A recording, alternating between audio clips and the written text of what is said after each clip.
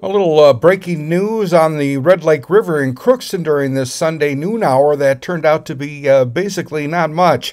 Uh, initially, it sounded like a kayaker in trouble. I'm told by police uh, basically uh, the kayaker was uh, looking for their life jacket that fell out of the boat and then uh, floated past an easy place to get out. Went past the officer here, over here to the other side of the river uh, where the kayaker got up on the bank before the rapids here and got out of the craft. Another crew was showed up at the scene to pull the kayak out uh, of the bank here uh, by the river, but uh, no injuries or anything. Basically, a kayaker uh, lost their life jacket and was floated past an easy place to get off the river and floated downstream a bit. No injuries, no problems. I'm Neil Carlson reporting for iNewZ.TV.